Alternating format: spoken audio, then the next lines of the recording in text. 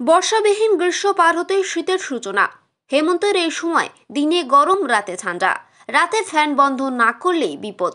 তার উপর চলছে বিভিন্ন পুজোর উৎসবে বাঁধ ভাঙা খুশির অনিয়ম। সামান্য জ্বর জারি ঠান্ডা লাগলে হয়তো অনেকেই মনে করছেন হাসপাতালে গেলে ভর্তি হতে হবে, উৎসবের আনন্দ হবে মাটি।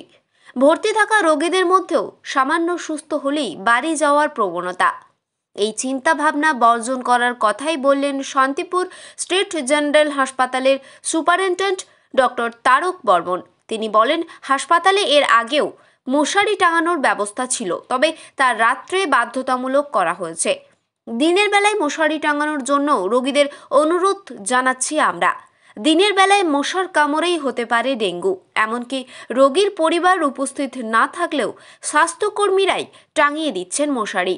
নমস্কার, আনন্দ বার্তায় আপনাদের স্বাগত। আপনাদের নিউজ দেখার পর একটা লাইক এবং একটা শেয়ার করুন। ভালো ভালো নিউজ দেখতে পেজটি লাইক করে দিন।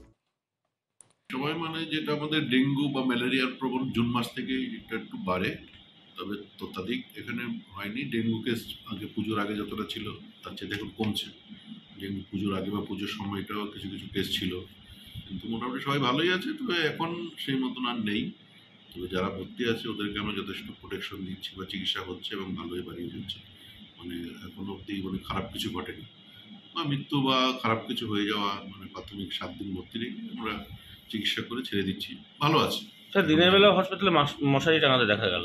হ্যাঁ দিনের বেলা ডেঙ্গুর যেহেতু আপনারা জানেন হয়তো এডিস মশা দিনের বেলা কামড়ায়।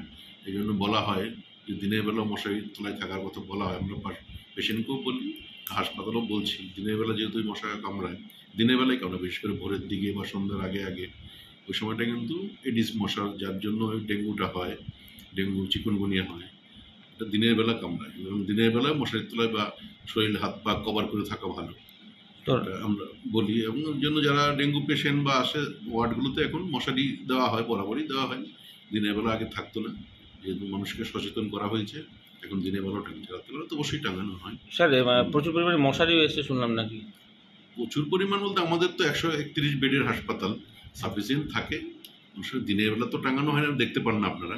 রাত্রেবেলা শোয়ার সময় সবাই টাঙিয়ে শুতো একটু সর্দি, কাশি, শ্বাসকষ্ট রোগী একটু হচ্ছে। এবং মারাত্মক কিছু নয়। পাঁচ ছজন ভর্তি হয়তো এই মুহূর্তে আছে। তারা ভালো আছে, খারাপ কিছু নয়।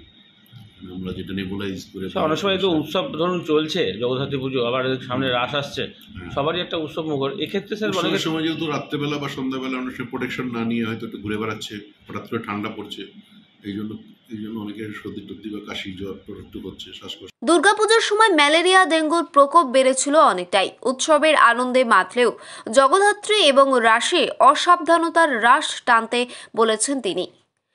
বিশেষ করে শিশুদের। সামান্য কারণেই সর্দি জ্বর হতে পারে। তবে হাসপাতালে খেয়াল রাখার জন্য অনেক স্বাস্থ্যকর্মী আছে, কিন্তু নিজে নিজে গৃহে কর্মব্যস্ততার কারণে অনেকেই মশারি টাঙানো ছাড়াই ঘুমান রাতে। সেক্ষেত্রেও তার অনুরোধ, মশা তাড়ানোর কোনো ধূপ, কেমিক্যাল ব্যবহার না করে মশারি টাঙানোই ভালো। শিশু থেকে বয়স্ক অসুস্থ প্রত্যেকেই। তিনি বলেন শান্তিপুর পৌরসভাও হাইড্রেন রাস্তার পাশ পরিষ্কার সহ বেশ কিছু গুরুত্বপূর্ণ ভূমিকা গ্রহণ করেছে। স্বাস্থ্যকর্মীরাও পৌঁছে যাচ্ছেন বাড়িতে বাড়িতে। তবুও সতর্ক থাকতে হবে সকলকে। মঙ্গলবারের আচ্ছা রাত্রে কি হয়? আমার স্বামী। কি হয়েছে ওনার? জ্বর হয়েছে। তো মশারি টাঙানো দিনের বেলাতেই থাকছে? হ্যাঁ। কি বলছে এখান থেকে? মশারি টাঙাতে বলছে? হ্যাঁ। রাত্রিবেলা তো টাঙায় দিনের বেলা তো? হ্যাঁ। কেন? ডেঙ্গু জ্বরের জন্য বলেছে। আচ্ছা সবাইকে বলছে মশারি টাঙানোর জন্য? হ্যাঁ, সবাইকে টাঙাচ্ছে ডেঙ্গু নদিয়া থেকে মাধব দেবনাথের রিপোর্ট আনন্দ বার্তা।